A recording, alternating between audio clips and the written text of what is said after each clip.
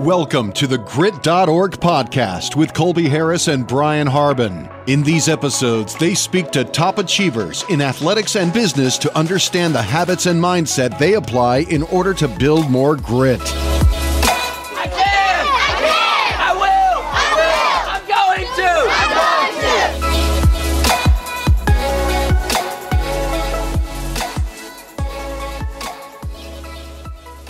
Welcome back to the Grit.org podcast. My name's Colby Harris. Alongside me, as always, is Brian Harbin, and we are here with today's guests, Kevin Butler and Jack Foster. Gentlemen, thank you so much for joining us today. It's a pleasure. It's a pleasure. Yeah, super excited to be here today. It's been a it's been a lovely summer with you fellas, and I uh, I'm excited to get get going. Yeah, that it has been. I can't wait to share this story. So, Jack and Kevin here have been our two Grit University interns for the duration of summer 2022. Over the past 10 weeks, they have tested their limits mentally, physically, and emotionally while also getting hands on business experience running Grit Camp, our summer sports camp. During the 10 week program, they follow a rigorous schedule starting with a 6 a.m. workout each day, followed by running camp, building the business in the evenings, and following a reading, meditating, and journaling schedule before bed. So, to kick us off, both Kevin and Jack come from athletic backgrounds and have always loved sports growing up. So, to kick us off, can you both share where your passion for sports started and maybe a quick story to showcase why you love sports so much? Yeah, sure. I'd love to. Uh, I want to start by thanking our hosts for having both of us on the podcast. Like I, I said a little bit earlier, it's a pleasure to be here. Um, but sports have, have really shaped me into the person that, that I am today. Um, it's startling to think about that something like that can translate um, into the type of man you become. But um, in truth, my, my love of sports started at a really young age. I played in some really competitive soccer and basketball leagues, um, and it taught me a lot about failure and how to handle coming up short of a goal. Um, learning that a poor performance in sports of any sort doesn't really affect you as a human being. That lesson took me a while to get um, a grasp of. Uh, I had a lot of emotional outbursts. I, I tied a lot of self worth into youth sports, which wasn't super healthy. Um, so, but anyway, uh, years and years of practice and playing and, and high stakes um, events like that, um, even a couple years of football in there. Um, Oh, yeah. I learned how to com- yeah you know come on I can I can step out there you saw me at camp uh, I learned how to compose myself in, in stressful situations and um, put the needs of the team above my own and I really think that that's helped serve me uh, at Grit University this year because we are a team the four of us all year we've been a team all summer I should say and um, you know those skills that uh, I learned from youth sports really helped um, so yeah So getting into my uh, my upbringing, started out playing t-ball as most kids do, or t-ball or soccer, depends. But um, you know, first grade, I had a very close friend of mine, Jaron Firesheets, also from Mandarin. Um, so we he was really into football, and we'd hang out a lot. He was my best friend growing up, and then I got, I was like, you know what, I want to play football, and I really fell in love with it. You know, playing as like a tiny mite, you know, kindergarten, first grader, all the way till you know where I got now into playing in college. Um, that was definitely my first love. And then you know later and later in the years, as you get older, started getting into basketball. But uh, short story I want to share about why sports means so much to me has to be my senior year. I had a great high school football career playing for Ponte Vedra. Um, only lost about eight or nine games total throughout my high school career. Um, but you know, senior year, like for every athlete, is definitely like that most special year. And I just remember one moment um, where it really like full scale hit me was sitting there on the field after our last game was a playoff game versus Columbia High School. Pouring rain, you know, can't really throw the ball that well. Ground and pound. We got to do new schemes that we had never done before. Like I did tackle over, so I was on the left side with the other left with the other tackle, and we would run a like gap scheme, like power counter, that sort of stuff. And um, it just really hit me. Like we were sitting on that field after that tough loss, you know, bawling our eyes out because we knew it was over, and just like there was a there was a moment that we captured. The photographer took a picture of like all all the seniors just sitting on center field, like right on the shark logo, just like sitting around like a campfire, and it's it's a beautiful shot. The rain's like pouring down, you see the rain, and we're all just like sitting there, and all we did was you know just sit there and, and talk, you know, just talk like like brothers. So the biggest you know thing from sports for me is the camaraderie that you build and the relationships that you build and you know I'll talk more about relationships and whatnot as we get deeper into the podcast. But that is the best. That is the best part of sports is the bonds you form. Hmm. And I think it's really cool at that age too because in your early years it is so much about personal development and outside of sports, you know, just being in school and your extracurricular activities, it is just about yourself. So to be on a team through those years and be a part of something that's not only bigger than yourself but in competition with those guys by your side uh, for something that is for the collective betterment of the team is just so amazing and Jack, coming over to you, you're currently enrolled at Florida State University. You graduated from Ponte Vedra High School, just a few minutes south of Jacksonville. But I know you've not always been in Florida and actually spent most of your time growing up in Massachusetts. So, can you share us a little bit about your transition to Florida and the things you learned during that time relocating about midway through high school?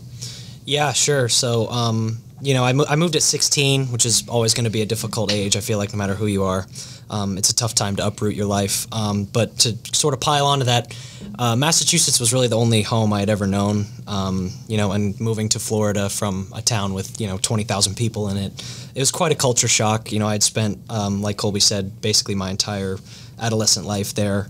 Um, but the most important thing I took away from those those first couple years, where I wasn't super comfortable in my surroundings just yet, is that you know um, tumultuous time can bring about a change in worldview. And I think that I have never evolved more in a single year of time than my first year in a new place. And it was sort of uh, very similar to how we did it at Grit University. I'm sure Kevin and I will get into the trial by fire method that we had here. Um, but that's sort of what it was for me is when I was thrown into this new setting with a bunch of new faces, new people, new agendas, new everything. I had to learn to, you know, be my most natural self in a new environment. And I was really gun shy when we first got started. I spent, you know, the first year, um, you know, sort of regretting the move and like being upset that all my friends were behind and, you know, using my phone to stay connected with people in Massachusetts rather than, you know, move on to people who were in my surroundings now. I was sort of trying to grasp onto those relationships that had held so much value in my life for years. Um, but uh, once I was able to sort of move past that, you know, it, it's I found out that it's definitely a possibility to hold on to new relationships, you know, make new friends and keep the old, and that was something that I was um, really focused on after that first year. But once I sort of shed that shell of nerves and you know just fish out of water, feeling a little uncomfortable, all that sort of stuff, um, I enjoyed life in in Ponte Vedra a lot more. You know, I met a, um, a lot of new friends, including one sitting across the table right here. We we met senior year, had a had a blast ever since, and um, I don't know. It, there was a lot of fear, and looking back on it now, I think there's the the number one thing I regret is is taking too long to step outside of myself and learn more about the area that I was in. Um, and I know, you know, Grit University, um, I didn't really have that problem because I had already learned. I feel like I immersed myself into what this, uh, what your guys' culture was pretty instantaneously, and um, that that's a lesson that I'm going to carry with me for the rest of my life. Yeah, And then Kevin, yeah, you on the other hand, you know, you've always grown up in the greater Jacksonville area. You mentioned Mandarin earlier and then moved to Ponte Vedra for middle school and high school. So what were some of the positive negatives or what was it like kind of laying your roots here in Jacksonville? Yeah, so in all honesty, you know, Jack and I are com- complete opposites of that upbringing, you know, being up upscale rooted across the country. Um, but we have similar flaws. Um, I I had a hard time making connections growing up. Like I I had friends, I was friendly, I had school friends, I had football friends, but it was very it was very hard for me to have that like tight knit social circle um, because to me that was like that was like what family was. Um, but it wasn't really until I met Jack senior year that I really started to like, you know, form that social circle. And uh, I'd say I'd say the biggest positive of being in one area for so long is um, being so comfortable in my environment that I was never scared to like try new things. Um, you know, whether that be playing, doing track. I'd never touched a shot put or, or anything. But you know, junior year, I was like, why not do track? One of my friends talked to me into it, and it was a great decision. I loved track. Um, shout out Coach Guile. Um, you know, just like being able to try new things was definitely um, the biggest plus of having my roots here. And you were a shot put record holder by Yes. the time you graduated, which is fantastic. ugh, well, I don't, don't even get into that. It's already been broken. It's already been broken. The, the guys say, I- this year, they bro- they broke the record. I was gonna say you multiple had it to this day. Good thing I didn't say that. I didn't know it was freshly broken and stuff. Yeah, it's a, you're you got your glory there for a minute, Yeah. but I do love both perspectives of you know having a safety net of somewhere you're comfortable, and then having a lack of a safety net and the things that you learn of being able to step out, whether it's because you feel like you have to or you feel like you want to. Right. Uh, so I, being someone that moved in sixth grade, another very ripe age, I can definitely understand Jack's perspective. But now that I've spent the last better eight years in Fernandina, I feel like uh, the world is in the palm of my hands up there. So I can definitely understand that. And moving into the high school years for you both, as mentioned, you both graduated from Ponte Vedra High School and played sports there, became friends there as well. What are some of the lessons or values that your coaches instilled in you, or frankly fared, failed to instill in you during that time that you played? And how did those really help shape who you are today?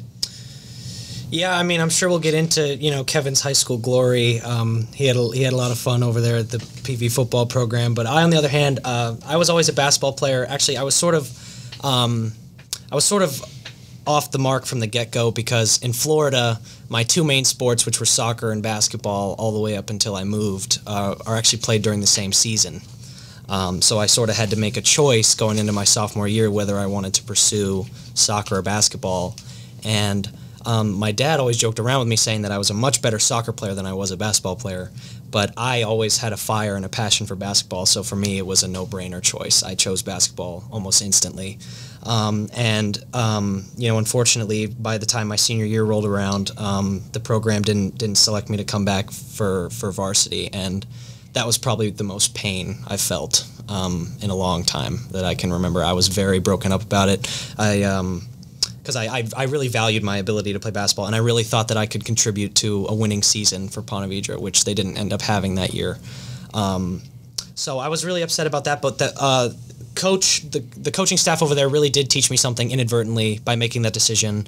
And um, that lesson was definitely that you need to have confidence in your own abilities, regardless of you know outside perspective. So you know these coaches may not have thought that I was ready to play or that I could have helped as much as the next guy or whatever it is, but um, that that upset feeling that I felt after not um, you know being placed on that team brought me to the conclusion that okay, I know that I'm good at what I do. I know that I've been doing this since I you know was old enough to hold a basketball and and reach the ten foot hoop and all that stuff. I know that I'm good at this.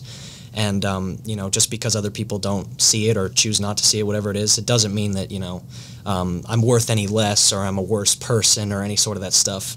Um, some of those negative thoughts that come creeping into your head when when failure's about. So um, I still love basketball. It didn't didn't change my passion for the sport in any way. Um, I was upset about it, as I said, but I really feel that I'm a lot more confident in my abilities, not just on the court but elsewhere, um, because you know the the opinions of others only matter to a certain degree. You know the the opinion that matters most of all is your own of yourself, and that's something that you know every one of us has to come to know.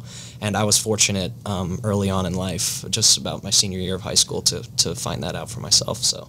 You want to talk about that uh, AAU stint after that? Uh, well, you know, th- those were that's actually some of the most fun I've ever had on a basketball court. Um, but uh, you know, I'll, I, that's not really appropriate for this podcast. I would say we have a lot of stories we could tell about that for sure. But uh, I'll let uh, I'll let Kevin get into uh, to the football glory days. So, you know, the lessons um, that my coaches instilled in me, it really comes full circle because a lot of it ties into the grit creed. We had Adam Silva come speak, and he was he was definitely a big factor in those formative years. Um, like you know, pregame meal, Adam Silva's coming to speak to us. You know, and he always he always preached the the three steps to being a man built for others. And you know, the kid the kids at camp got to got to hear that. Um, relationships, building relationships, being able to give love and receive love, transcendent cause, cause greater than self, just like our grit creed. Um, and then having a code of conduct, discipline, hard work, and you know, I, I think what's what's nice about those lessons that were instilled is I really got ahead of the curve. You know, not a lot of high school athletes get that that um, that mental performance and that that you know that foundation for for a future and it really helped helped me along into my college years and you know we would also do some some reading during the summer during like summer camp for football. You know, one of the ones we read was uh, how to make your bed in the morning, like in the little things. Um, awesome, awesome experience being able to um, do that with people around me. Like I said, once, like I said earlier in the podcast, like it's about relationships. And so going through and being with those guys every day at football and learning the same things and kind of having that entourage of we have the same mentality, we have the same uh, purpose. It translates to what we did here this summer, and I think that's uh, it's that's awesome. Like translating, you know, things from the sports world to to now to the business world. And I was going to say that you know, being Grit University interns, it's we're sort of like the entourage who has a similar goal, Yep, right? It's exactly. the same thing. It's really cool. Must have went hand in glove with what we did this summer. it's definitely cool too to experience Adam Silva firsthand. I'm sure Brian, you could agree. We can only imagine what that would have been like to have him in our corner five, six days a week in high school playing sports. Uh, Adam Silva, anyone who's watching or listening, give him a Google, listen to a few of his speeches. But I was fully blown away, in the things he's developed into you and other people are truly incredible. And you're completely right. If he put you way above the curve of what was to come in the future. Oh yeah. for sure. And and uh, and so upon graduation, I know you know Jack. Obviously, you decided to go to Florida State, where now you're pursuing, and you're going to be able to get your business degree, undergraduate, and your master's degree, uh, your MBA, Four years. um, in four years.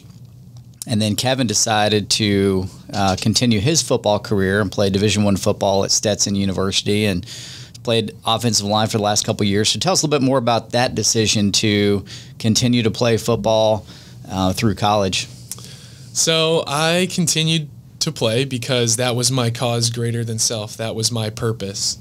Uh, being dedicated to a team, working out every day, practicing, learning the offense, everything that you contribute to the success of a team was because of the foundation I laid through sports, you know, in my formative years in high school. And I really thought being a Division One athlete was the best way to set myself up for success. And like I said, it comes back to relationships. The first step in those in being a man built for others, building those relationships with my college teammates. And now I have, even though I've decided to kind of walk away, and we'll get into that more, um, having that network and those relationships was super important to me. And um, yeah, that's that's you know that's what it's that's what sports are about is is relationships. Yeah, and I think it was really healthy for you to see that for yourself to to reach that dream. I think every kid that plays sports envisions themselves playing Division One one day, whether that happens or not. And few people actually get to see that come into fruition. And I think that's something you'll carry with you for the rest of your life. But coming into more present day, obviously you both have been Grit University interns for summer 2022. Diving right into that, why don't we start with both of you just sharing a bit, a bit about how you found out about us and really why you wanted to pursue the opportunity of being a Grit University intern. So funny enough, Colby and I have known each other since around what sixth grade. Sixth grade. Sixth grade, and uh, you know, I saw what he had been doing for the last two summers. We, you know, we lost touch for a while. Uh, I saw what he'd been doing on social media, and I reached out to him in what like August of last year. 2021, that's right. Um, and I was like, hey, this is something I'd be interested in doing. Like, tell me more. Tell me more. And then, funny enough, you guys start your recruiting in February and March to get um, interns, and I was like, oh, this this is an opportunity that I want to partake in. And then, you know, we started the interview process. I was I was falling in love with what you guys were doing, and um, then you know I got, you know, I was like, yo, Jack, like this is something you need to do too.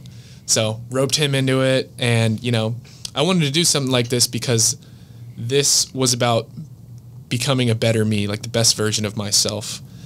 And you know, there's no other opportunity to do it physically, no better opportunity to do it physically, mentally, and emotionally than here at Grit University.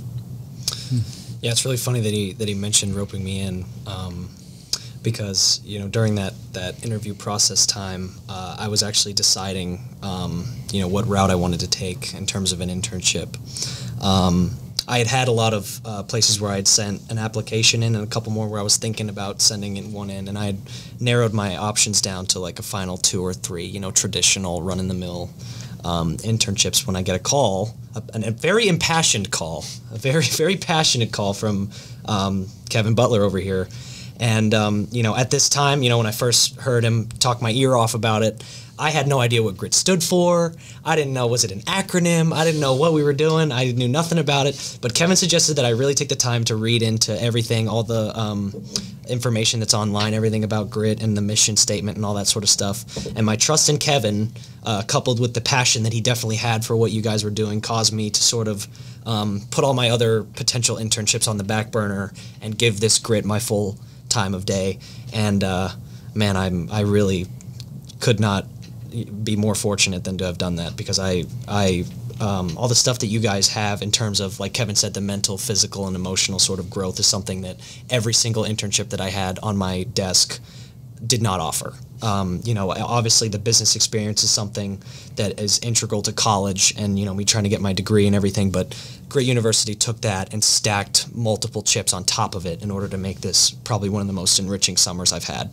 Um, so I was uh, Kevin told me all about the physical commitment, you know, the the the morning lifts, the the journaling, all the mental stuff, and um, I really I probably had a day or two's worth of hesitation before I was like, look, mom and dad, like this is what I'm doing. Like I'm staying in Florida this summer because um, we'll get into a little bit more later. But my parents moved this summer, so I was here in Florida um, full time Grit University intern while my parents moved across the country without me. So um, that's another wrinkle that um, sort of speaks to my passion for Grit University and all that they had going on because I was able to sort of delay my move to another part of the country with my family um, to sort of give my full.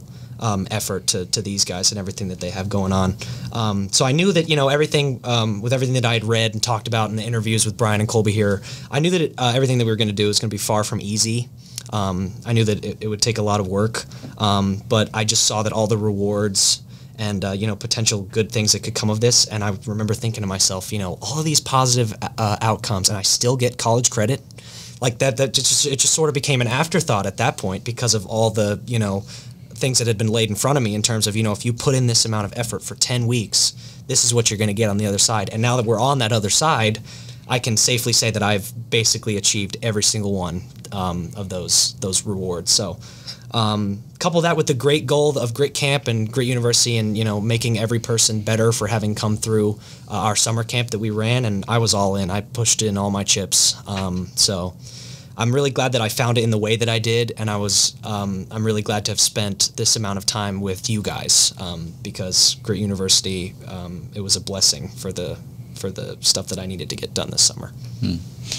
Well, we definitely Colby and I interviewed a lot of people to find you guys. I mean, it was definitely a few dozen people, and so.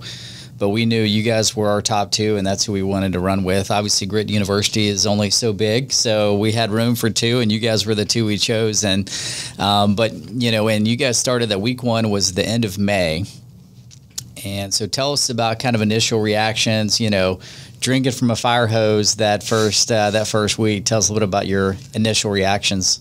Yeah, well, so you know what's funny? I didn't know that there were a large amount of other candidates in consideration. That was something I, I just learned right now. But uh, I appreciate that we were the top prospects. That, that means a lot to, to both of us. I could say we're both very proud to to have that under our belts. But uh, I don't know. I mean, my first reactions, none of them were really negative. Um, that's something that I'm going to get into when we talk about, you know, if, if we get to what future uh, Grit interns should do when they first arrive. Uh, I sort of I sort of suppressed all sort of thoughts of negativity, um, and I just really thought that you know if I if I give my full effort here and now, what I experience down the road will be all the more better. Um, you know, sacrifice now leads to benefit in the future, that sort of thing.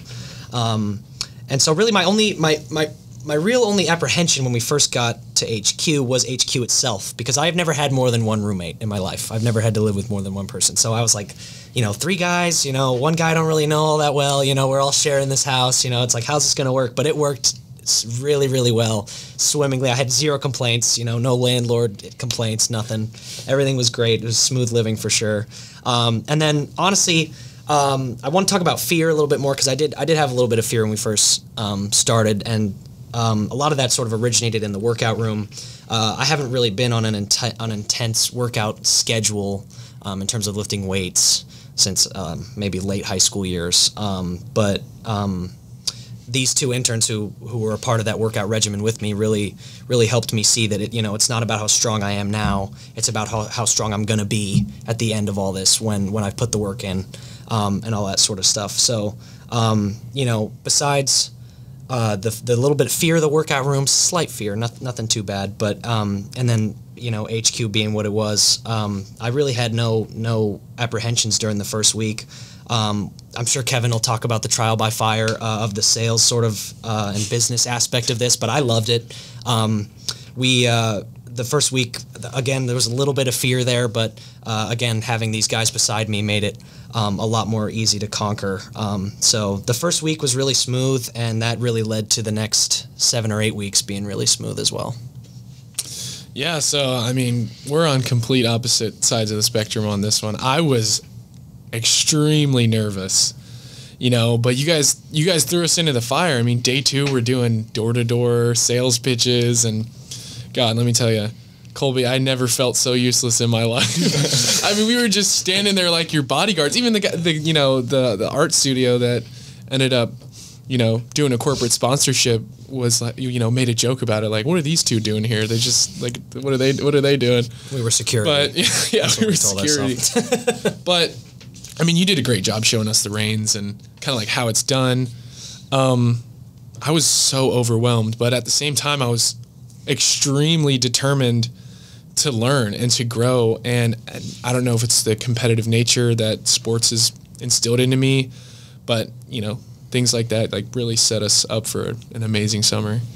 Yeah, definitely agree. And I'll never forget really going out that first day either because I've been doing the corporate sponsorship sales for a, a, whole summer now, a whole summer in 2021. I was doing it all alone and it was my first go at it. And I only closed a, a number of sponsors that first day when we locked up that first sponsorship sponsorship in San Marcos Square. It got me excited because not only did we score the sponsor, but it gave you guys an opportunity to see it and that it works and that what we were teaching you guys wasn't cut and dry sales. It was we're building relationships, we're promoting what we're doing, and if people enjoyed enough to want to get involved, then amazing. And that's really what we got that day. Is they loved everything we were doing, and they wanted to help further our mission. Uh, and another thing I think that's so important is just as you guys are saying is we're throwing you into you know a lot of people talk about investing in employees, and I think what Brian's been so good about that he's taught me mainly is it's more about enriching and I think if I would have just tried to teach you guys this stuff rather than go out and have you right next to me doing it, it's a lot more of an enriching experience. So for sure, uh, I'm glad you guys enjoyed that because that was definitely one of the highlights of my summer was locking in that first sale with both you guys by my side. So. Um, we really wanted to hit the ground running, just like we're talking about the sponsorship sales. That was a really, really big task our first few weeks because, as those of you who are listening that might not know, we actually sell corporate sponsors to help send underprivileged kids to Jacksonville into our summer camp. Jack, I know you were really excited for the sales experience. So, from your perspective, what have been some of the key challenges and takeaways from your first time working in more of a sales environment? Yeah, I would say I kind of alluded to it um, uh, earlier on, but I would say that uh, you know the cop out answer is is fear. Um, but um, I think that any negativity that comes from uh, sales experience, like the type that we had, um, it really comes from like an inability to try if if you give full effort um, towards any sort of sales oriented mission, um, you know, if you're diligent in how you prepare, if you know and love what what it is you're procuring, all that sort of stuff, um, it makes the whole sales process a lot simpler. And the only failure that comes with that is a failure to give that full effort.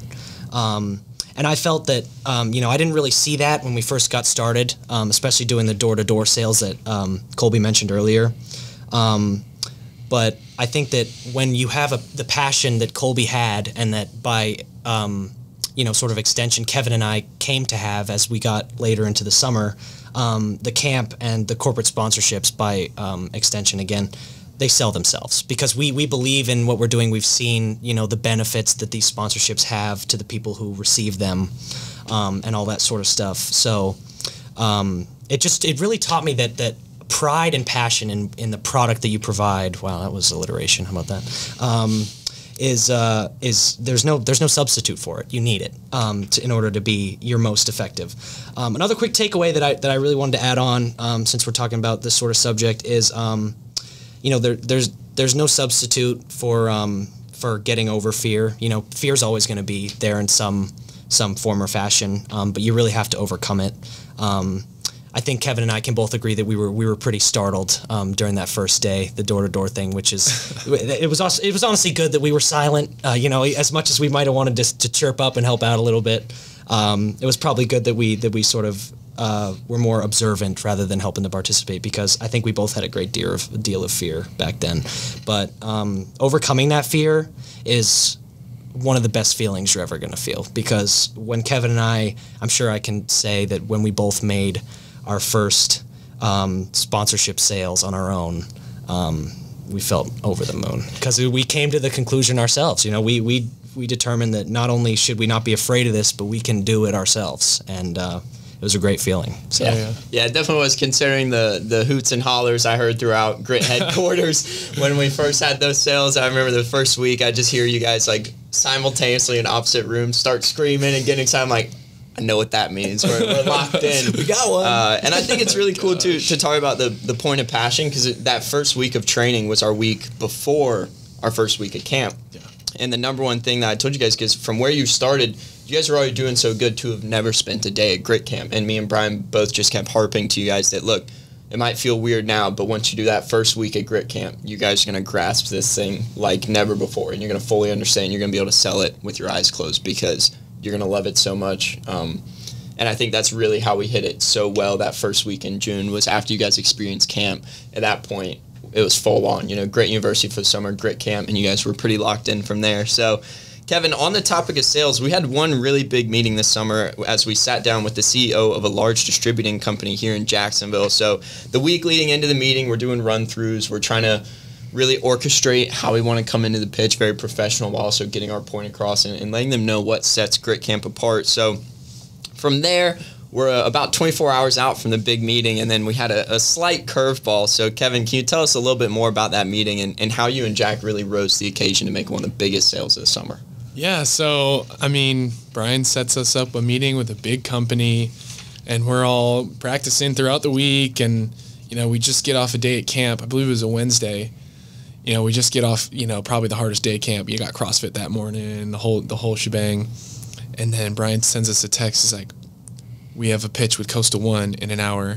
Uh, he's not going to be able to make it tomorrow, so we're just going to do it now." and you know then we're running around like looking at each other big googly eyes like chicken the whole deal chicken with your head cut off and we're just like oh my gosh what's going on and then so we're getting ready practice our lines a few more times and then you know we head over it and head over and you can just like feel the nerves from jack and i you you know you stayed cool calm and collect or yeah, cool calm and collected but you know we get there and you know it was like like butter. Like we killed it. Um, it's it felt so good to be like in that uncomfortable situation and rise to the occasion. You know, there's that. that's what sports are about too. And it's and it's it's fascinating how it all just comes full circle again, with you know you know tying a summer sports camp to the business world, and how it's it's a cycle and they all connect. And oh my gosh, it was it was such a thrill to do that meeting. Is it? a good team win. I think we needed that too as the three interns together. We're coming back to the house and being able to all high five and get excited and yeah. just know that we nailed it. You know, I think that really gelled us for the summer of like, hey man, we, we make a good team here. I I experienced one of the uh, largest adrenaline rushes of my life after that. oh I'm not gonna lie, I'm being honest here. I was yeah, that, I was ready to bounce off the walls. I was ready to do CrossFit all over again after that one. It was that it walk was great. back to the car, man.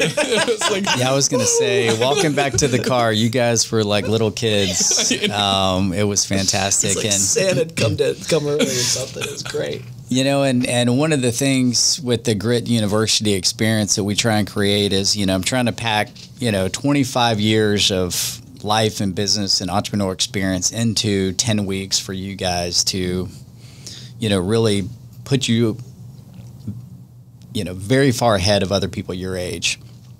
And a big part of that is, you know, pushing you to your limits mentally, physically, emotionally, you know, getting up early, which, you know, 550 for a college student is totally off your usual routine, taking cold showers, working out. Physically, you're exhausted. Mentally and emotionally, dealing with, you know, kids, which you're not used to, you know, reading, sales, totally out of your comfort zone. Get a little bit of recovery on the weekend, which is helpful. But the idea is to push you to your limits to see how you're going to respond when things matter most. And so, but there comes a point where a lot of times you reach a tipping point, and and you know we told you guys beginning of the summer. At some point, it could happen first day, first week, third week. At some point, you're going to hit a wall, and we try and create a crutch for you to fall back on with the grit creed of like, look, these are the 12 principles that when things get hard, this is what you can rely on. But for both your personal experiences, do you feel like either one of you hit a wall during the summer? You know, I mean, first couple weeks I had some minor things like I sprained my ankle, whatever. Not a big deal. Stuff I'm used to because of football. But I I really want to harp on, you know, I never really felt like I hit that wall mentally. And a big part of that was this guy sitting across across the the table. Like this this guy's going to be the best man at my wedding. Like I can't I I can't stress enough how important it was that he was here. And that's why I wanted him that's why I wanted him to, you know, take this journey with me so bad is because there's a balance. Like we are very similar, but we also have our differences, and that's what kept us level headed. When he would get high stress moments, I'm like, dude, big picture, take a step back, calm your nerves. And when I'd get worked up, it's the same thing. And I think I think it just the the friendship we have got stronger because of the adversity we went through together. And you know, man, I couldn't be more happy that you're here with me.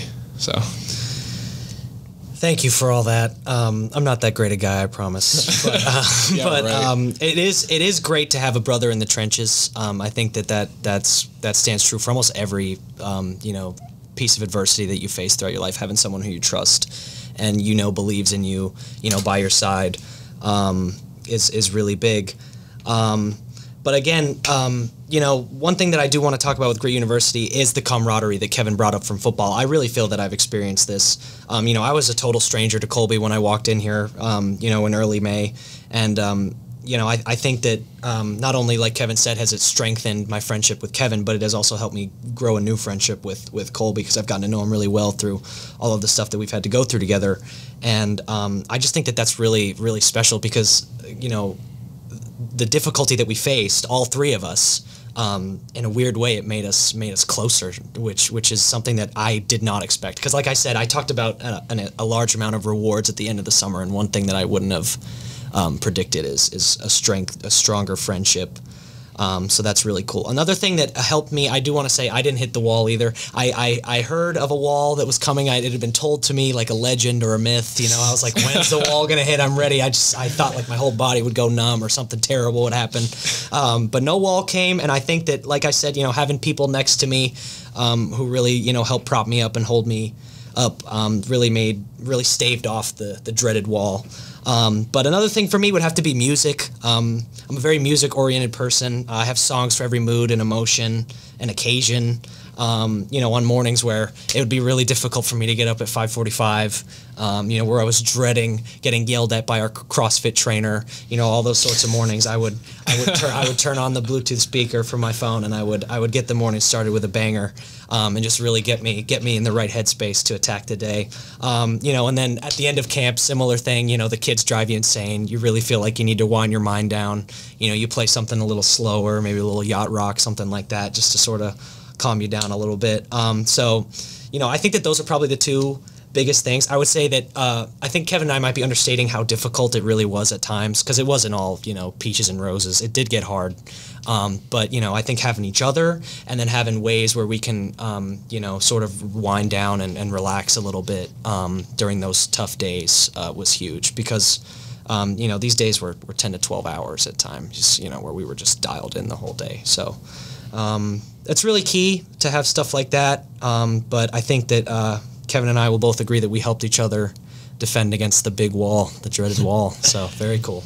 Yeah, yeah, I definitely I could not agree more with with all of those statements from both of you of battling the wall. And I did this program alone in, in 2021, and as Brian said, you know, we went through a lot of prospects, and something we really discussed is the desire, and you have to have that desire, and we had that in both of you guys. I think that was a huge part of you guys getting it. Um, but from my perspective, I can tell you guys right now, and even for our listeners, of this has been a whole new experience for me of having you guys at the house. I mean, even if we were butting heads at camp and we could all get in the car and kind of cut up about the day and the campers and what we needed to do for the afternoon. And sometimes, as you guys know, I get a little little hot headed. Uh, so to be able to let loose, it really helped me because usually I'm a little bit more of an independent person, keep it to myself. So to be able to come back to the house with the other interns and to kind of let things off our chest from the day, from camp, our stress levels, I felt so much better than I felt in years past of kind of bottling it up to be able to let it out in a similar experience with you guys who are going through the same thing. Really collaborate and work through it together. You guys definitely made that a lot easier for me, and I'm glad you guys felt the same way about having me there and Kevin and Jack. Just uh, this little triangle going on here. Uh, so Definitely. Nonetheless, Grit Camp is our business, and that's what you both participate in and helped operate for this summer. We spent a lot of the time this summer developing the next generation, you know, playing sports with them, really trying to push them into absorbing our grit creed, bringing out these speakers to enrich their lives as well. And although you both come from sports backgrounds, you likely never spent this much time and over such a long period with kids. So, from spending time with the kids as well as managing counselors, what are some of the things you've learned this summer that you believe are directly applicable to life and business in the future? Yeah, this this is a great question. Um, really, really lengthy one. Um, but the the entire ordeal, um, you know, in terms of, of translatable skills that I acquired, would have to be patience, and that was something that I feel like I definitely struggled with. I have a little sister. Um, she could tell that I she could tell you all about how I don't have any patience. Um, but uh, you have to be able to choose your battles um, in life, and especially with kids, you know, who are looking to have fun at a summer camp. Um, it's even more so. But if you lose your temper, you know, for every little mishap, every little, you know, mistake, every little, you know, token of disrespect that the kids probably unknowingly bestow upon you, sort of stuff like that. If you really get mad at all those occasions, the kids will tune you out. Um, you know, the you you lose that authority that you've been trying to covet, um, which is sort of counterintuitive, but that's just sort of how it ended up working. Um, and it's similar to the counselors who we manage to a degree. Um, they're obviously a lot better because they're they're sophisticated people. Um, but patience is is definitely key, and choosing when to you know go full force, full passion, um, in order to get the kids to where you want them to be, is uh, is something that's definitely tested when you're running a summer camp. Like we were, and another another transferable uh, nugget of knowledge that I had um, would have to be the ability to accept flaws in a plan. Um, so I think in life, no matter where you are, you're making plans. I think that's what we as people do day in and day out. We make plans for our day, our kids' days, you know, our lives, all that sort of stuff. Um, but you know, plenty of those visions that we had, you know, definitely have cracks in them and can definitely fall through or not work the way that we intended them to work. All that sort of stuff. Um, and I had to realize that because I'm very plan oriented. I like I like to I like a system of how things are done.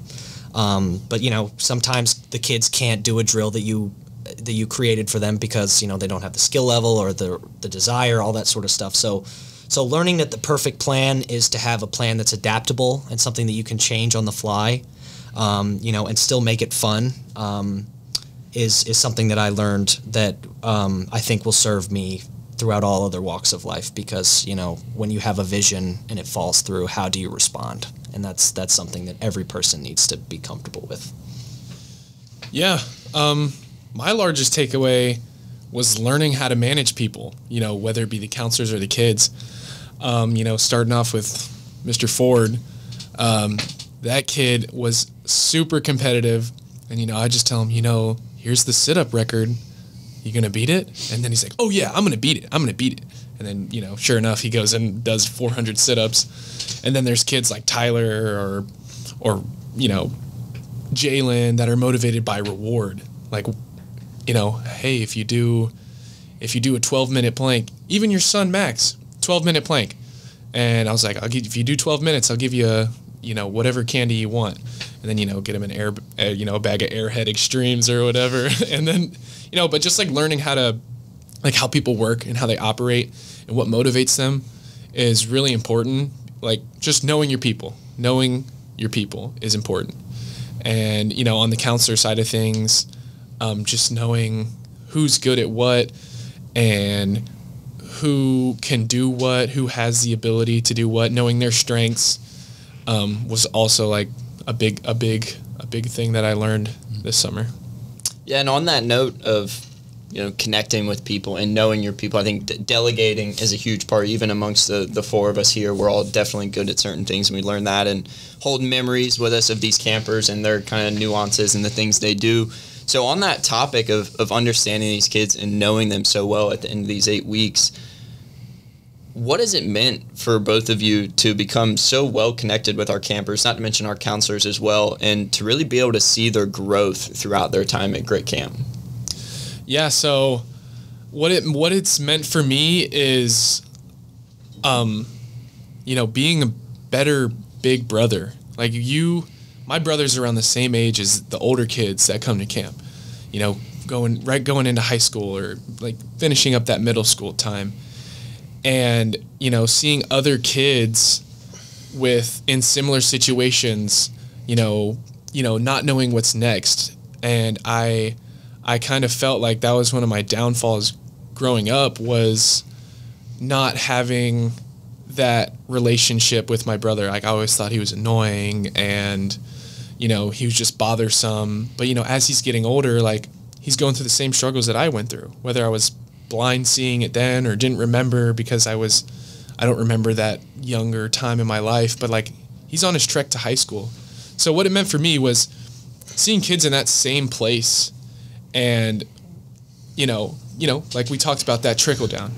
Like, you know, us to the counselors, to the JUCOs, to the older kids, then, you know, feeding into the younger kids, it all translates. So if I can if I can teach, you know, a 13, 14 year old kid how to how to do this and and how to you know become a great high school athlete or how to um, fit in socially and how to operate themselves in high school and and you know what to expect and what to be nervous about what not to be nervous about what matters what doesn't.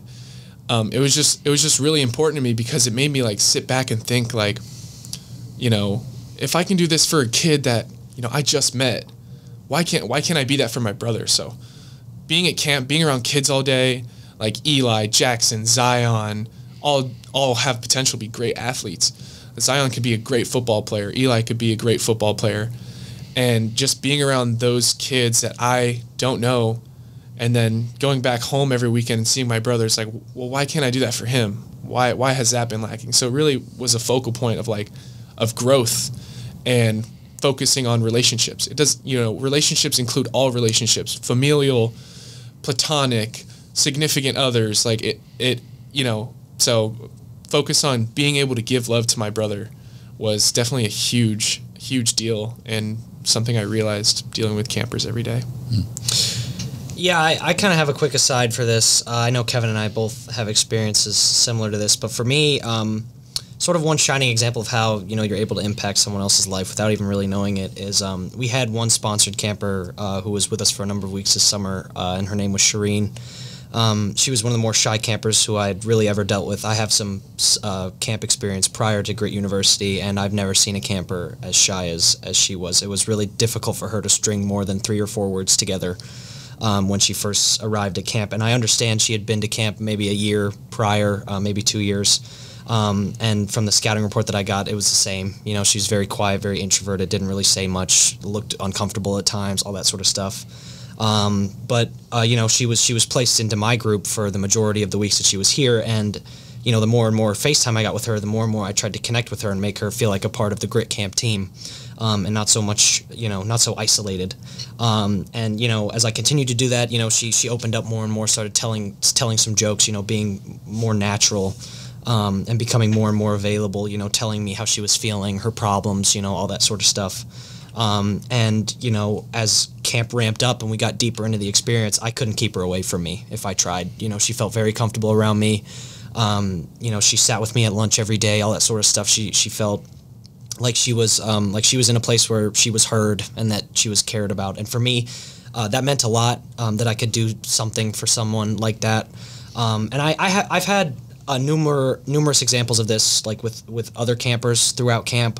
Um, so that little Shireen story is a shining example of um, my development of the ability to um, resonate with people who are very different than myself, and I think that that's key in all walks of life. Once again, you know, if you can if you can make a um, you know, a seven year old, for example, um, you know, feel comfortable and, you know, kind of be buddy buddy with them and make them smile and laugh and all that stuff, even though you're at two completely different stages of your life. Um, you know, then there's no there's no reason why you shouldn't be able to do that with a 47 year old or a 67 year old or whoever it is. You know, people who come from any walk of life.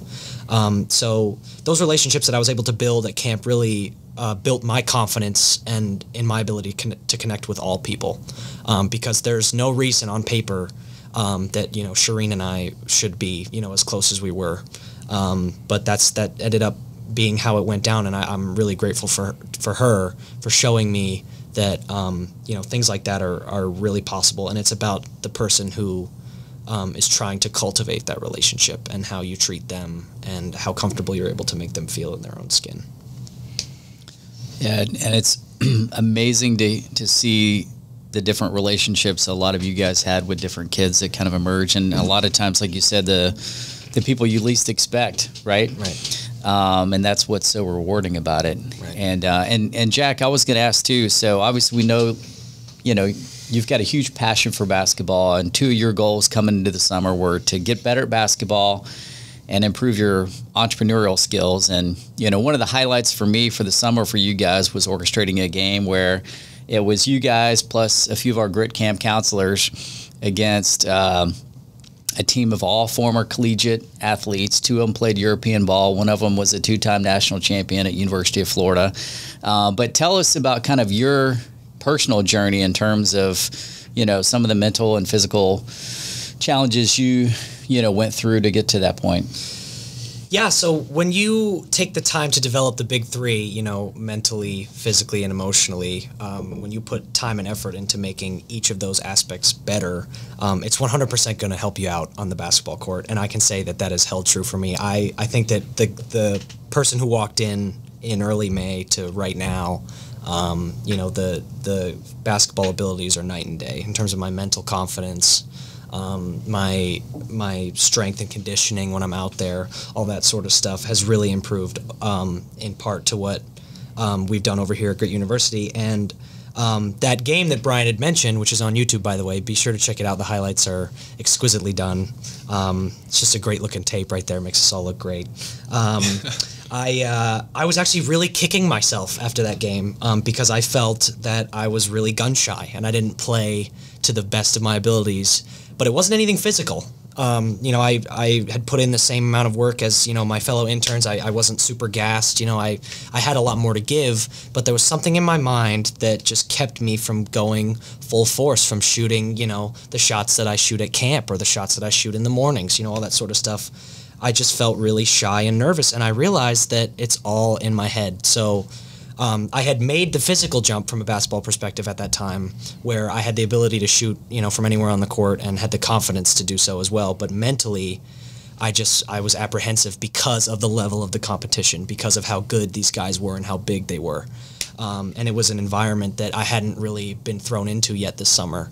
Um, so that that that game was also an awesome, awesome experience. It was great to play alongside those guys and um, match up with with them.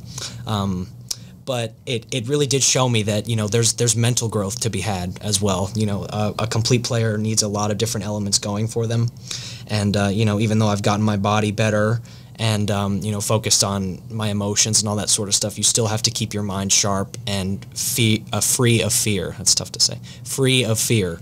Um, because, like I said, you know, fear is, is typically an inhibitor, and I, I was very inhibited by it um, during that that basketball game at Bulls, which was st- still a blast, by the way. Not not knocking the experience. It was a terrific time, uh, but all my problems were were self made. Um, but yeah, I, I, I need to take the time to thank Brian for setting that up because that was a really cool thing. I'm sure we can all agree on that. Yeah, definitely, and I'm, I'm sure that we'll have a whole new game to bring on a rematch next year. They're they're definitely not gonna be ready for what we bring uh, come 2023. No, they will not be. No, not at all. Uh, but Kevin, coming over to you, as mentioned, you spent the last two years playing football at Stetson University. I mean, that basically tacked on about 12 years of your football career. Uh, but this year, you decided to hang up the cleats to pursue other opportunities, and that really started with Grit University this summer. So, just to really give us an insight into kind of where you're at and, and your experience through what you, you've gone through through playing and deciding to now move on to better or new things, shall I say. What really led you to making that decision, and what vision do you have for yourself as you enter this new chapter of your life? Um, what led me into making that decision was was for the first time focusing on myself and not my purpose not the team not the mission not winning games um, first day of fall camp last year i was about 296 pounds um, i wouldn't say i was out of shape but you know i'm a heavy sweater i'm a big guy and i cramped up full body cramp called the ambulance, went to the hospital. They put three liters of fluids into me. And it was at that time when, you know, I started to question what I wanted. What, what do I want? What do I want to do? Um, football is all I know right now. There's something, there's something more for me. It felt like there was something more. And I felt like at the time I was prioritizing things that weren't healthy for me. I was overweight. I was in a bad mental place because of my struggles with with cramping and you know medical issues. N- nothing, no injuries, but just like it's it's very morally defeating when you know I I would cramp up and then I'm like, what am I doing wrong? I'm eating all the right things. I'm you know I'm overhydrating. I'm I'm I'm doing everything you you could think of, and it's just it's just not working. Um, so I decided to to to walk away. Started losing weight. By the end of the fall season, I was around 275. So that's 20 pounds over a season, which is pretty normal for linemen. Um, then into winter, come to winter weigh-ins, 264. Then by the end of winter, the lowest I'd been on our weekly weigh-ins was 256. And then I start spring, and I'm just like, you know, I made a commitment to my teammates that I would I would do this. Like, I'm I'm ready to walk away, but I will follow through with what I say I will do. I will be here for the spring. I played every single practice for spring. Um, you know, finished spring around 260, and then we had about a month and a half, two months before school ended, and you know, got got with you guys about doing an internship, and there was conflicting times, and you know, by the time we got to exit interviews, I was like, "Here's what's going on with me, coach." I want to thank you for everything you've done, but this is what I want to do. And so I hung it up. And for those last two months, I got down to the lowest I got was 250. And right now I'm sitting at around 245. But, um, you know, I, I prioritized myself for the first time. And it felt good. It felt like there was so much more opportunity out there for me. So my vision for the coming year and the coming years is to build more relationships, live by the, the three things men built for others, and expand my knowledge horizon. There's so many things that I felt like I missed out on because I was so committed to one thing, whether that go back to high school and me not playing high school basketball because I was so in love with football, um, so committed to football that I felt like it would be troublesome or take away from that. So now I'm at a time in my life where it's time to take away from football and move on and expand you know expand on the things I want to learn and the things I want to want to do one day. So and visit Florida State. yes, and well. visit Florida That's State. Something else that football didn't allow. Oh so. no! Well, actually, cool thing about that, I got to visit a lot of places. I went to New York for the first time um, when we played Marist. Um, you know, I went to Jersey for Princeton. We, we fly into LaGuardia and and you just see this landscape, and it's it's really a concrete jungle. You fly in, the first thing you see is the Statue of Liberty, and then you see the whole city and Freedom Tower and the Empire State Building, and oh my God, it was it was a spectacle. You know, just sitting from the plane window and, and looking at it. Oh my gosh, couldn't be. I, I, I had a lot of great experiences for football, but it was it was time for me to to expand on new things. So I wanted to ask you guys. Here we are. We're at the end of your ten weeks. The last day of camp was last Friday. Uh, you know, we're shooting the podcast today.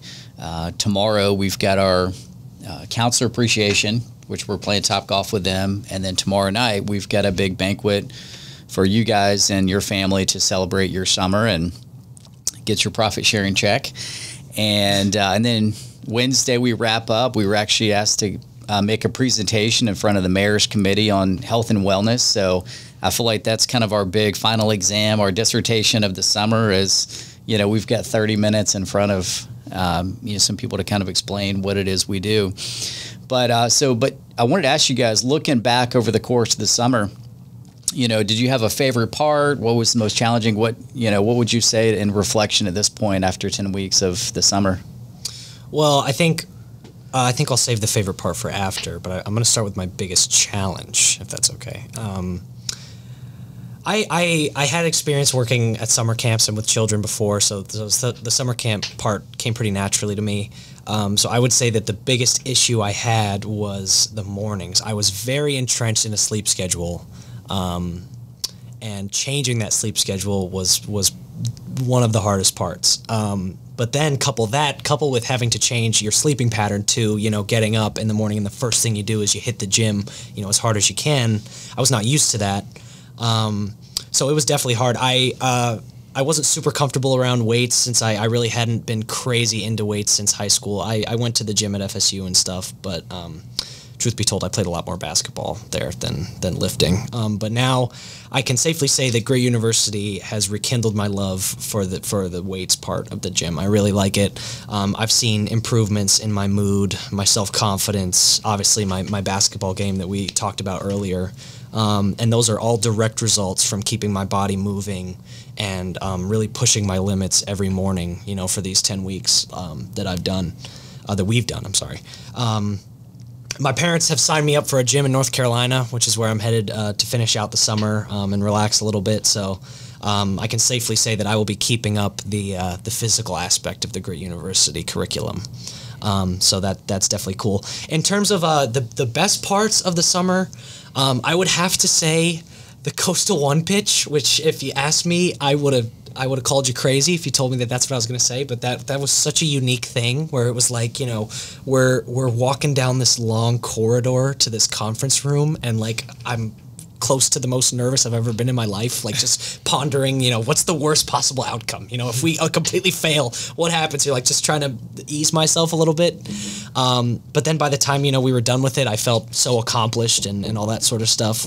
Um, it was just terrific. I would also say that um, my favorite parts have been um, sort of the changes I've seen in, in my body and stuff, um, and my, my self confidence and all that sort of stuff, um, which is all a direct result of what we've done all summer. So um, that's great as well. Getting to spend time with, with Kevin has been a terrific part because um, you know, like he's been committed to football for the last two years, so there's really been no uh, visiting each other while we're at school, um, sort of stuff. So getting to spend ten straight weeks with him, um, going through what we've gone through, but also spending uh, time like just hanging out like um, like we used to in high school has been has been awesome as well. There's been a lot of benefits. I could probably go on for another ten minutes if you let me, um, but I'm gonna I'm gonna pass it over because I'm sure Kevin has some good stuff to say as well. I'm sure he's ex- experienced a lot of positives.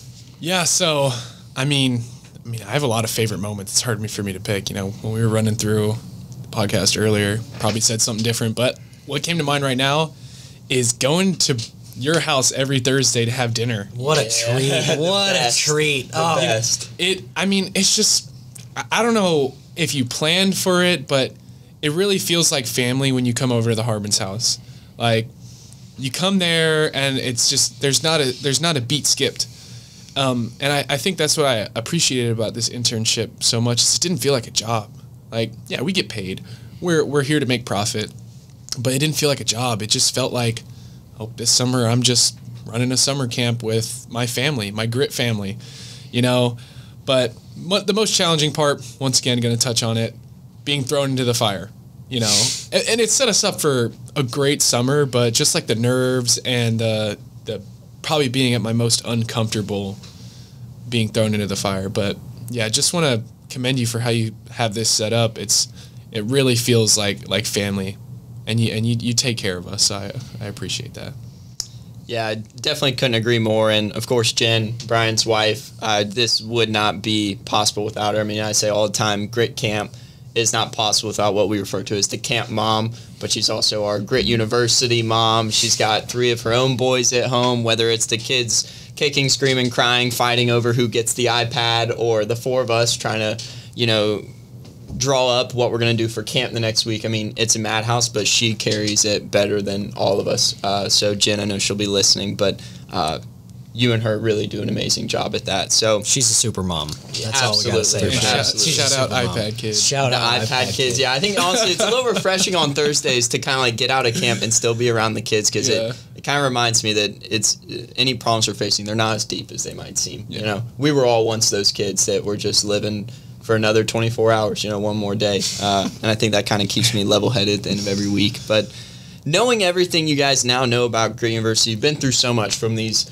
last minute pitches to playing basketball and working out at 6 a.m. and dealing with the kids and making friendships with the counselors while also trying to keep them on their toes and doing what they need to do.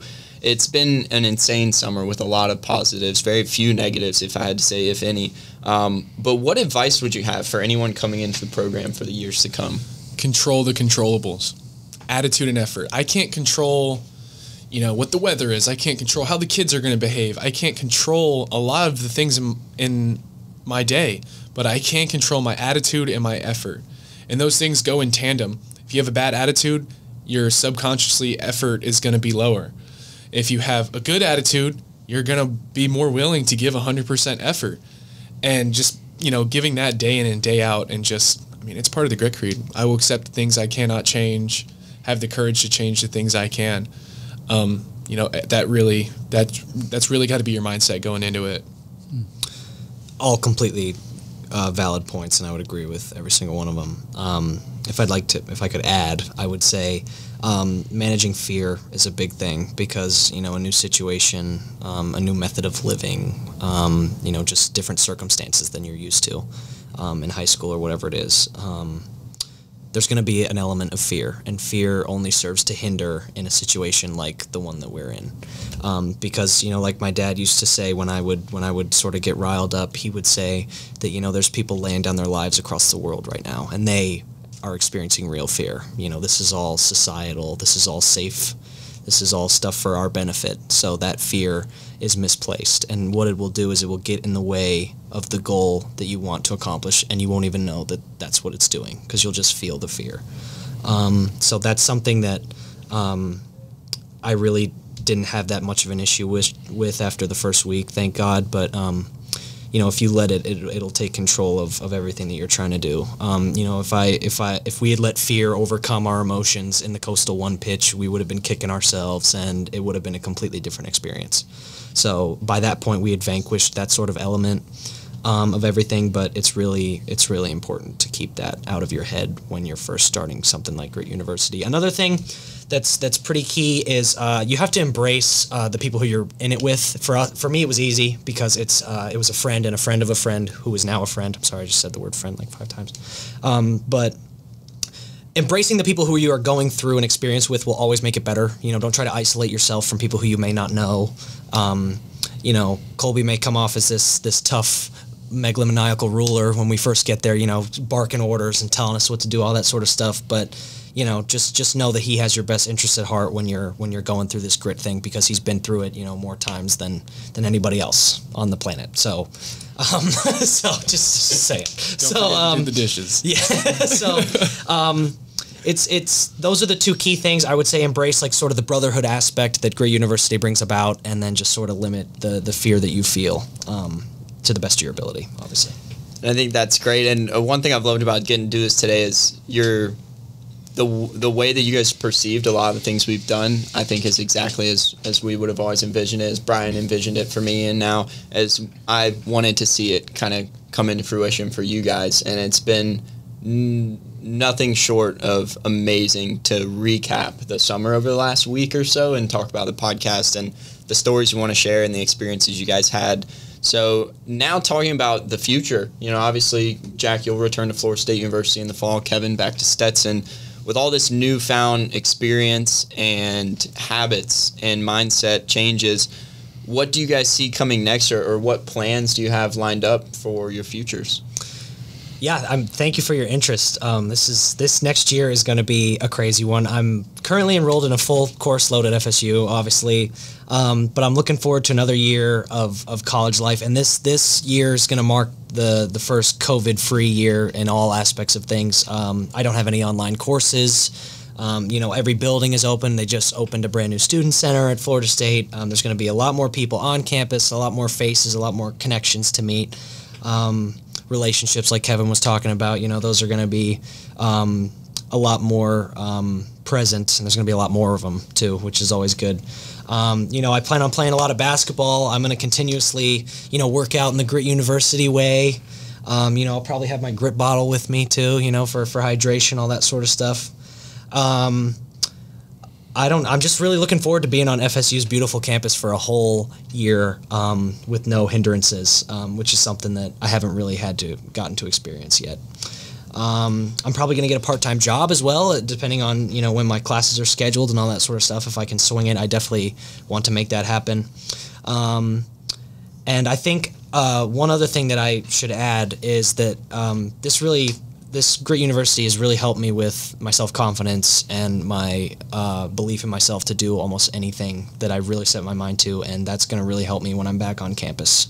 Um, just in terms of being more outgoing, being more caring um, for others, all that sort of stuff. Um, because if you can deal with you know 30 kids running around a field, uh, there's not much you can't do on, on a college campus. So. Yeah, and for for me, looking at the future, you know, full course load, but I'm really excited for this is going to be the first semester of all in-person classes. You know, no hindrances, no policies at school about wearing masks or how many people can be in a room, no limitations, and it's and it's really exciting because, you know, getting back to that like normalcy that's been missing for the last two years of our lives. Um, you know, I'll be getting uh, an on-campus job, a work study, um, also diving into my psychology minor, taking developmental psychology. Um, but I mean, I just couldn't be more excited for the for the challenges ahead, and just staying on my path of growth is really exciting for me. Yeah, I love all that, especially being all of us three 2020 graduates. We've experienced COVID life for what seems like forever now. Uh, so it makes me excited for you guys to, to be able to do that. Kevin finishing up football with a world of opportunity at your fingertips, and Jack, like you said, just a almost a, stepping into a new version of yourself. So, just uh, obviously, I have a few things I of course want to say about you guys, but I think it, it'd be definitely worth it to kind of take a standpoint for you, Brian. Uh, definitely have a, just a question for you.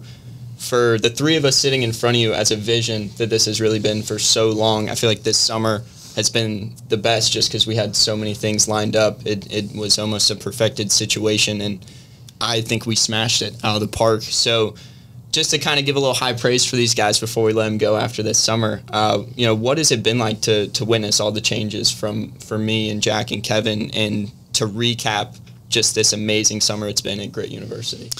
Yeah, and I, you know, we came in today, and I didn't want to rehearse anything with you guys beforehand because I wanted to hear all your answers for the first time, and and it really is. Um, it's very rewarding to see you guys and really just even 10 short weeks you know start off with a goal of becoming a better person. And you know the first thing you guys did was take a personality assessment to figure out how you kind of see the world and and how you guys started to figure out to work together and, and work with you know these other senior counselors and junior counselors and all the different personalities of the 318 kids that came through camp and um, you know the physical challenges the lack of sleep and um, at times and and really pushing yourself. So i'm just really really proud to see that you guys are happier and healthier and and um, you know the only thing that i ever ask you know of people that come through grit university is pass it on you know, whether you work with us again or work with us, you know, for 10 years or don't work with us again, just pass on these principles. You know, really protect all the things that you've learned make them a part of your life and pass them on as many people as you can and and for me that's kind of been what's made me happy um, and fulfilled in all the things that I do and and um, and it really is you know life and its amazing journey i think so many people have goals that are destinations and once they reach that destination they don't know what to do what's next but if you really embrace life for the journey then it's not really about the destination. Sure, you have goals that are maybe benchmarks along the way that you want to see happen, but it really becomes about you know how you get there and the people that are with you. So for all the things that you guys are saying that you learned this summer, then I know that this summer was a success if that's y'all's takeaway. So yeah, I mean, I'm a proud papa in a lot of ways, and so I, you know, really appreciate you guys and and thank you for letting me be part of the journey. I mean, you know, I learn as much from you guys, and you know, I feel like um, you know the examples that you guys are setting for my three boys um, is phenomenal, and um, you know they're part of that trickle down. So I very much appreciate you guys providing that for my family as well. Yeah, I just want to say um, to that end that um, you know everything that Brian did for us all summer was was very on theme of um, you know this is this is a way that that um, if everybody lived this way, the world would be a better place. And I think that by doing our best to spread um, you know some of these some of these principles that um, are available online for anyone who wanted to look at it it can really make everybody's lives better. And I think that uh, Kevin and I, again, we, we have very different, um, you know, day to day lives and sort of what we're going through um, day in and day out, and they helped us both equally. So, 100%. So with that, you know, being said, I think that it's safe to say that it would help anyone to a degree. Um, to try to adopt some of these principles. It doesn't have to be all if you can't, you know, do that. Um, but I think that um, Brian has done a great job of laying groundwork um, for anybody and everybody, not just the three of us and not just the campers at camp, you know. Um, so the, the universal aspect of, of what you have going is, is really cool. Um, and uh, I just I want to thank you for, for sharing that with us and letting Kevin and I be um, you know two of the first people to really um, uh, give it give it a, a, full test run for a whole you know summer. And I think that um, I'm pleased with the results. Kevin's definitely pleased with the results. So it's just great. And I think that um, I hope you, you keep doing what you're doing. It's really special. Kevin, any side notes? Man, I'm just excited for next summer. I'm, I'm, just, I'm just, thinking about what's it gonna be like. What's what are we gonna do next? What's next? That's all I can think about is what's next. So yeah, I mean, that's the ground running for sure. Yeah, no, I mean, I I totally agree, and I think what's been coolest for me is to take the opportunity to share this. I mean, Brian did exactly what you guys have experienced for me, and it, it changed everything in my life, and that's why I've been felt so lucky to be a part of it. Uh, but not only just as another Grit University intern, but to now share it with you guys has been pretty next level for me uh, in so many ways. Like not only to help develop you guys from an entrepreneurial standpoint and help you guys with the sales stuff and um, introduce you to some of the marketing stuff or editing the videos. Personal touch is something that I say I've learned here that is something you'll never learn in a classroom and, and frankly from very few CEOs and business owners in the first place is that personal touch and I think you guys grasp that so well. Um, but you taught me so much of about the camaraderie and things like that. Again, always been a little bit more independent, especially with things that were like this, where I've always just thought, you know, hey man, I, I can handle it. I'm gonna get done how I want to do it, and because I feel like I know what's best, and you guys totally open me up to. I don't necessarily have to hold that power, but I don't hold that power. Like you guys added so much value um, to what we do here, and I really could not be more impressed with uh, with what we've done here because I have said it. Brian says it all the time. We're definitely changing the world with what we do. Just like you said, Jack. If everyone adopted this, then the world would be a better place. And I think adding you guys to our farm team has been one of the best decisions we've made.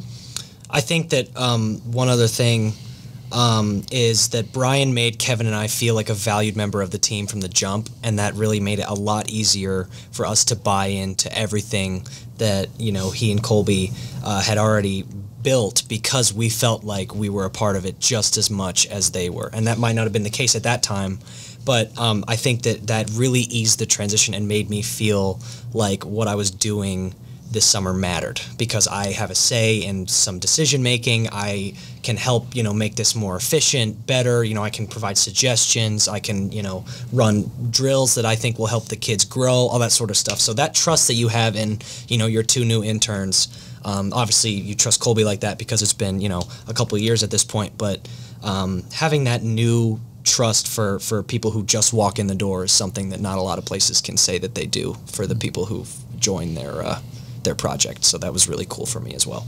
Yeah, I can't really say the title fits the description. Grit University intern is definitely not the word for it. We we are. This is a partnership. and associate. you- yeah, I mean, you you really feel you really don't. I don't feel like an employee. I feel like like Grit Camp 2022 is my is my baby, my product. Like I, I put work into it. We all put work into it, and you know we we we put out a lot of good things this summer, and you never never made me once feel any of you never made me once feel like I was beneath you. We were on equal playing field, and um, you know anything that I said or did would be considered, and that's that's what I feel like is missing from a lot of um, work culture environments. Is there's like this pyramid scheme or a power scheme where you know even even the janitor's voice should matter. Like if he thinks, you know, hey, we need to fix this or that, and then it, that gets blown off by, you know, upper management. It's just not the way that I would want to do things when I'm in your position. I would definitely, I definitely accommodate you for leading by example because you've set a good example of what we want in the future. Hmm. Yeah, we've definitely got lucky, you know, with our whoever you want to call it, our Coach K or uh, our Master Oogway over here, whatever it might be, Yoda. You know, we've gotten a, a very lucky spread with our leader here uh, between him and Jen. So, all in all, been an incredible summer, guys. I, I could not, I could not complain one bit about it. And of course, one final question for you both: something we ask all of our guests, something we talk about nonstop, obviously within our Grit Creed. What part of the Grit Creed resonates most with you both, and why? Yeah, for me, it's the last one. I will lead by example because my purpose is larger than me.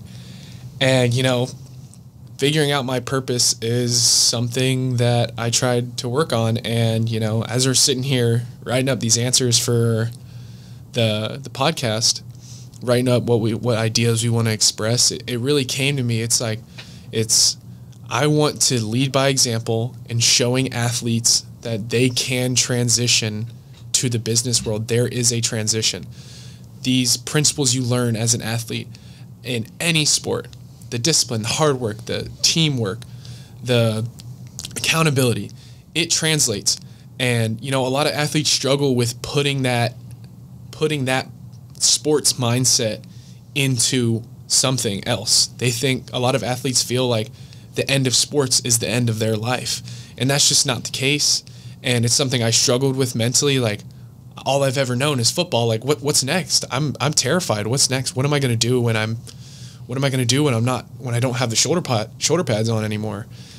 And so I think that's that's gonna be my purpose and is figuring out how I can, you know, put forth the access to transition, the knowledge to know how to transition, and you know, just you know, telling, you know, showing athletes that you know it's okay to walk away for yourself. It's okay for that chapter of your life to end because there's so much more out there for you, and like exploring that and learning how to use your skills for, you know, the business world is something that I really could see myself doing. Yeah, I'm gonna have to go a different direction. Um, not that all of that wasn't great, because I completely agree with all of it. We need to stave off that sort of Delonte West. You know, what do I do when sports are done type of problem. Um, but for me, I uh, I took a lot of value. I, uh, my favorite passes changed throughout the summer. Um, it was really hard for me to pin one down, um, but I think by the end it would have to be I will follow through with what I say I will do um, because I feel that this is universal, uh, like we were talking about. Um, I think that it can serve anybody to become a better friend, coworker, significant other, athlete, any any person in any function of life um, will benefit from being honest in their promises and what they what they say that they will do. Um, I I think I've sort of succumbed to the empty promise syndrome a little bit, where you know at previous times in life, you know, you say, oh, you know, I'll yeah, sure, I'll help you out on Wednesday, and then you forget about it, or you know, you come up with an excuse really late, or you know, all that sort of stuff, and people remember that. Um, it's a really big turnoff um, when you're trying to make new friends um, and you you know promise them something or um, you know to do something for them or anything like that, and then you blow it off. Um, it sort of disrespects their trust and their time. Um, because you know they trusted you to do something that that you didn't do. So I think that the universal nature of this, whether you're an athlete or just a worker or in an office, anything like that, um, you need people need to trust your word, or else it loses all of its value. Um, so that's something that, that that this camp.